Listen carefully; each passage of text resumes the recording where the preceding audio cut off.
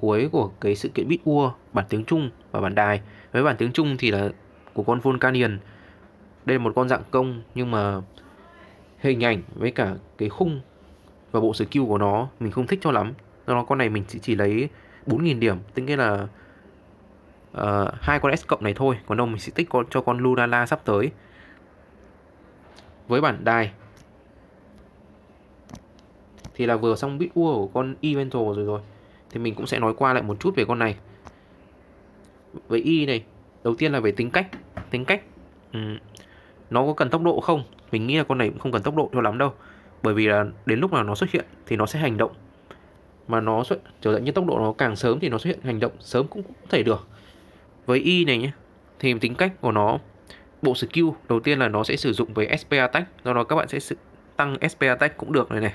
Cái thứ hai là ở nội tại của nó, khi nó thoát ra khỏi cái kén thì nó sẽ gây sát thương bằng 120% PA attack hoặc là khi đánh địch mà địch đang bị hóa đá thì nó cũng sẽ gây thêm sát thương phụ đó bằng 80% PA attack của nó.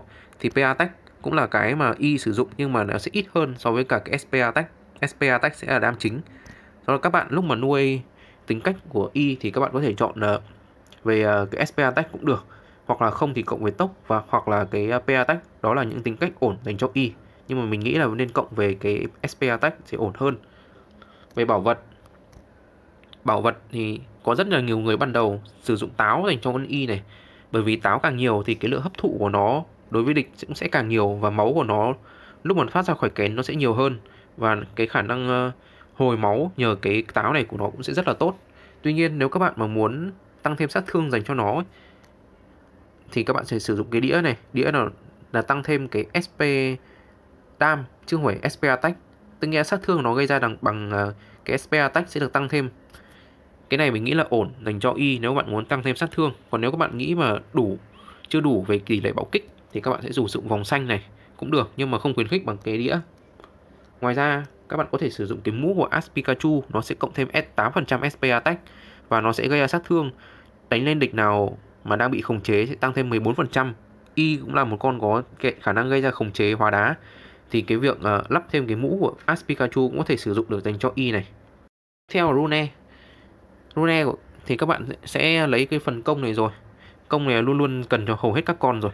Các bạn có sử dụng cái số 1 chẳng hạn. Và các bạn có thể cái thứ hai Rune thứ hai các bạn sử dụng là cái ờ, tăng thêm tỷ lệ bảo kích rất là cần cho những con dạng công. Cái thứ ba các bạn có thể sử dụng sát thương cũng được nếu hút máu hút máu thì không cần tại vì là nội tại của nó đã cộng sẵn 10% tỷ lệ hút máu rồi. Do đó ba đây là rune mà mình nghĩ là ổn dành cho y này. Thì mình nghĩ là các bạn có thể sử dụng con chip con ờ, uh, Greninja này. Máu càng ít thì sát thương càng uh, cao. Có thể sử dụng dành cho nó được. Còn không thì nó cũng ít cái loại sử dụng lắm. Hầu như là tấn công của nó nhiều hơn. Có thể sử dụng cái uh, này tăng thêm sát thương dành cho nó cũng được này. Hoặc là giảm giảm nộ của địch cũng ok. Đấy là những cái chip mà mình nghĩ là sẽ ổn cho y này. Bởi vì y này nó của dạng như là nó chỉ thoát ra ngoài nó tấn công một lần và hai lần thôi. Theo đó là mình đã lấy được một con đó là con uh, sự kiện bít ua này đó con uh, Vulcanian.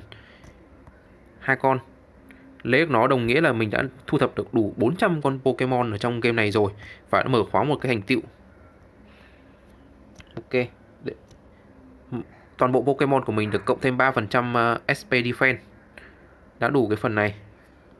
Mình đã vừa sưu tập thêm một con hệ nước nữa. 400 con, thế là đủ. Đồng thời cũng mở thêm một cái thành tựu luôn. 60 con hệ nước này đã thu thập được thu thập được đủ 400 con, thêm 50 kim cương. Ok. Ghép nó lại xem cái tính cách của nó có ổn không. Thế là mình sẽ được hai con rồi. Đây một con ở dạng như hỗ trợ cho hai hệ là nước với lửa. Khi nào lên 8 sao là hỗ trợ cho hệ thép bằng cách đi cùng với Magena. Tính cách nhưng mà. Cộng tốc. À cộng này trừ trừ tốc à. Không ổn lắm. Cả hai đều trừ tốc. Mỗi cái cộng thêm một kiểu con này sử dụng SP attack rồi do đó mình sẽ sử dụng con này. Bây giờ thì mình sẽ nâng nó lên. Thì mình nghĩ nuôi được đến như này, được ổn tạm tạm rồi. Bởi vì là nó cũng trùng quà với cả con Mega Rayquaza của mình, cho nên mình chẳng lắp đồ nhiều cho nó. Đến Rune mình cũng chẳng cần tăng nữa. Mục đích là lấy nó xem 4 sao để sử dụng, test thử thôi. Đối với cái team này xem. Xem ờ, khả năng thể hiện con con Volcanion ở trong team nó sẽ như thế nào đây nó chỉ có 4 sao thôi.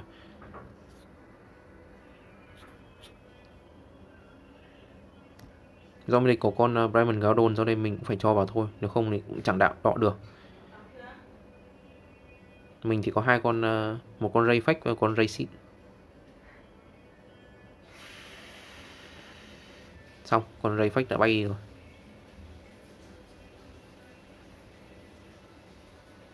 Nói chung là con nào về sau cần tốc để nó có thể phát huy được cái khả năng đi trước của nó. Volcanion thì đi trước như thế nó sẽ được tàng hình. Nhưng mà sợ nó bay rồi. Thì bạn thấy cái gọi như là cái sinh tồn của con Volcanion này nó cũng không phải là cao. Một tí team yếu yếu để cho nó thể hiện thì mình cũng không thích lắm. Thôi cứ đấu với mấy cái team kiểu như thế này vậy. Bởi vì bởi vì con này nó chỉ đồ dạng như là hỗ trợ dành cho hệ nước với hệ lửa thôi sát thương mình thấy chẳng nó cao mấy. Khả năng sinh tồn không có. Tất nhiên không có cái kháng tử.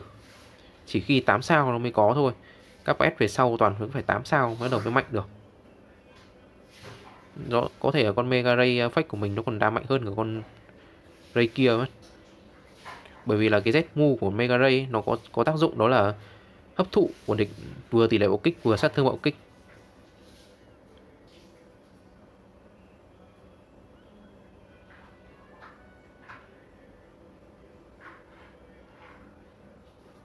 Reflex hoàn hành hoạt động à, hành động cũng tốt phết. Với một quẹt của con Mega Ray mà trong khi thế bay rồi. Cho nên con này mình không muốn lấy là vì thế. Hỗ trợ thì không sát thương cũng không. Một con Magena nó còn dạng kỹ trước nó nó còn tốt hơn. Có với cả cái team kiểu gì bây giờ? Chắc phải test một team MU để nó còn có thể hiện được. Vâng, không mang những con mạnh vào, để nó còn ra ra đòn thôi. Đúng là xem ở server test trước, thì cũng sẽ thấy nó ổn hay không ổn, để có thể lấy ở trong bit ua này. Nhưng mà nhớ đâu nhà phát hành lại à, nổi hứng, búp nó lên thì sao? Giống như kiểu con Zelda ngày trước. Zelda ngày trước yếu xìu như thế này luôn đấy xong rồi à, được búp lại thì bắt đầu lại mạnh dần.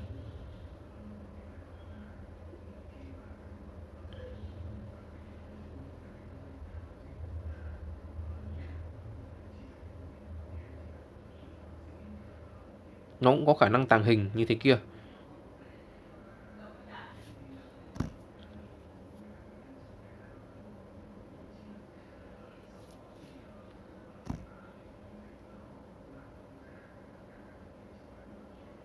Các bạn nhìn thấy nó có cái số hơi nước số 5, số 6 ở trên đầu. Khi nó đủ cái số lượng của nó thì nó sẽ tự phóng ra được một đòn ulti đánh toàn địch.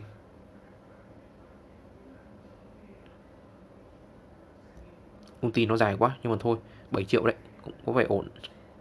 Chưa kịp xem nhưng nó đánh toàn địch. Cái đòn ulti đó là tự động phát ra bởi vì là nó dựa theo cái số lượng uh, hơi nước mà nó tích tụ ở trên đầu. Còn đây mới là đòn ulti thật của nó nó chỉ tấn công có một địch thôi. Nhưng mà đánh 63 nghìn thì kém quá.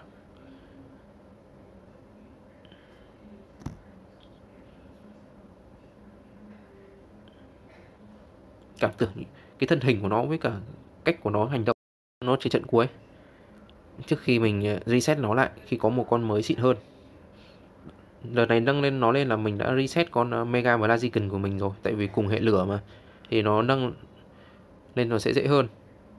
Các bạn thấy Z của con ờ, uh, Hupa của mình vừa tạo ra một đòn bộ đôi Latios Latias đánh cũng ác ra phết. Cho Galeo nếu mà kiểu dạng như là 8 sao thì nó sẽ tiến phục vào trạng thái kia khi máu nó dưới 30%. Còn nếu mà xui mà bị đánh phát chết luôn thì coi như là cũng 11 sao cũng thế. Cho nên nó sẽ rất cần Celebi hay là Sonia hỗ trợ ban đầu để giúp cho nó có thể đỡ, kiểu như đỡ bị chết. Bất đắc kỳ tử giống như thế. Một giờ chết rồi. Cũng chưa thể hiện được gì, vẫn chết rồi.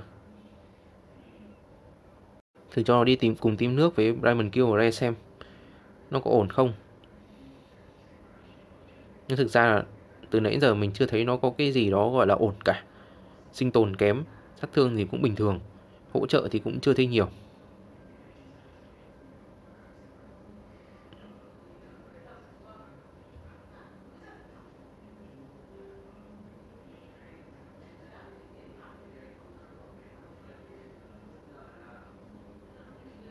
Nó đang tiến vào trạng thái tàng hình rồi.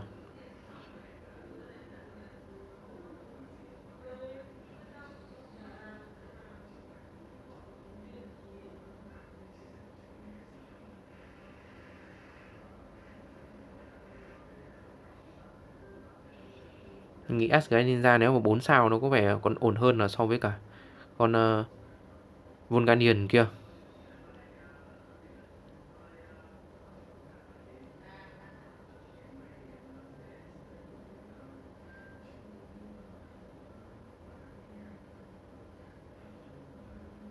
Đang chờ nó bốc hơi nước bắn triệu sáu.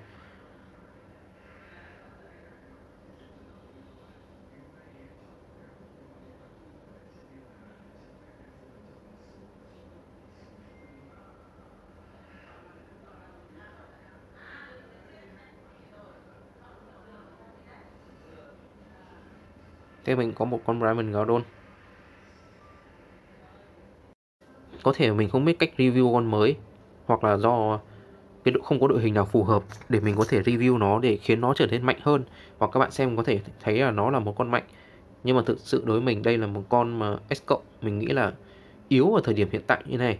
Phải chờ xem là nhà phát hành có búp nó hay không. Nếu không thì uh, mình nghĩ những người chơi ở bản tiếng Anh hay bản đài sẽ biết trước được và có thể là bỏ qua con này được với Volcanian này mình đã reset nó. À, reset con Mega Blaziken của mình để nuôi nó lên từ cũng không phải là lực chiến thấp 625.000 cũng quay đọ với cả những team mà không phải là quá là mạnh. Với cả những tầm tầm của họ là chỉ tầm là 500 đến 600 nghìn thôi. Nhưng mà Volcanian nó cũng chưa thể được gì quá là nhiều. Cả mình cần một một con theo kiểu mà nó có cái cái đột phá nào hơn nữa cơ. Thì phải chờ xem mấy ngày tới xem là nhà phát hành nó sẽ chỉnh sửa lại skill không. Giống như Zerara ngày trước cũng rất là yếu. Còn khi nào nó về bản tiếng ờ, Anh hay bản đài thì mình sẽ review lại chuẩn hơn về bộ skill của nó. Chi tiết hơn nữa. Thì cảm ơn các bạn đã xem qua cái clip này.